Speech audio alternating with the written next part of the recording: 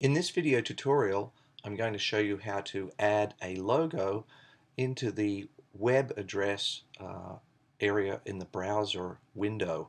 Um, we call this a favicon and to just show you what it appears as uh, default um, I'll open up Safari and you can see it's this blue globe. Um, this is the um, normal icon in the um, in at least the Safari window here.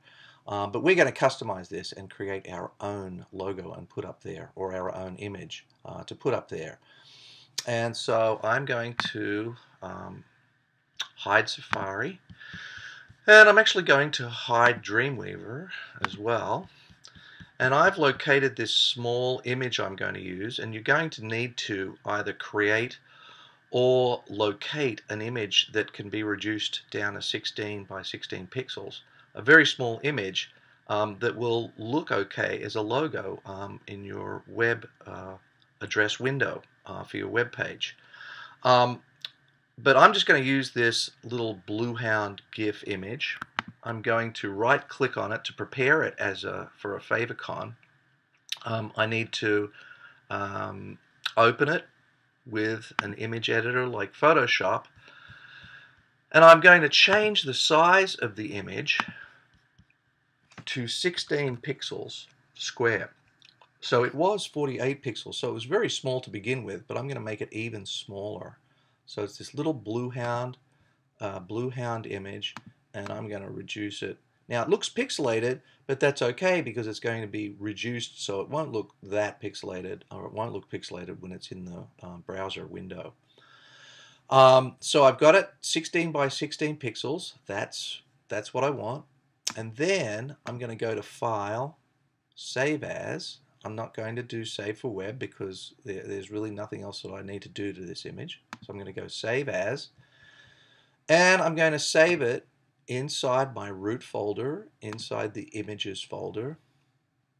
And I'm going to save it as favicon. Favicon. So you need to use this word um, for your uh, uh, browser to use this image. So I'm going to call it favicon and the file type format that I'm going to save it as is BMP, so as a bitmap. So I'm going to save it favicon BMP to my images folder and click save. I'll leave the file format to Windows and 8-bit depth. Click OK. And now I can hide Photoshop so I'm simply going to hide Photoshop. Then I'm going to open up my root folder, go into the images uh, folder, locate the um, favicon.bmp, and I'm going to click on that file name there, and I am going to change the extension from BMP to ICO. So what you must end up with is an image file that's called favicon.ico. And it, uh, you can see that the Mac Finder is asking me whether I'm sure I want to change the extension BMP to ICO. And I'm going to say no. Yes, I that's that's correct. I want to use ICO. So I've changed that name. And now I'm going to um, open up Dreamweaver. So I'm going to toggle to Dreamweaver, and here is my page that I'm going to put my uh, uh, favicon into. And I have to go out and get a snippet of code uh, to use um, to um, put this favicon uh, in the browser address window. And I have that snippet of code located on the Moodle class page.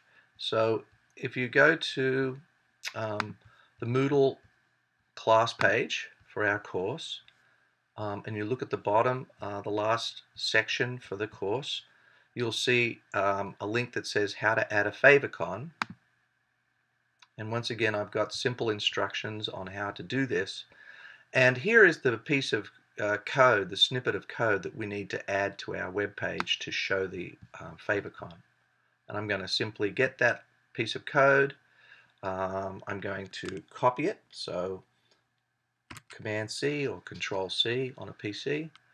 Toggle back to Dreamweaver And I'm going to paste it where it needs to be pasted. I'm going to paste it just right below the title tag in my um, code area. I'm going to hit return there to give me a space and that's where I'm going to use the command V or control V to paste so here's the little snippet of code um, that's going to uh, hopefully uh, locate the favicon. Notice that it's looking for it in the right place in the images folder. It's looking for favicon.ico. So now I simply save this and then I preview in the browser and I'm going to preview in Safari and sure enough there is my little um, blue hound in the web address window of my web page and uh, um, once I proceed to upload my page it'll be there in the browser window. So that's how to add a favicon to your web page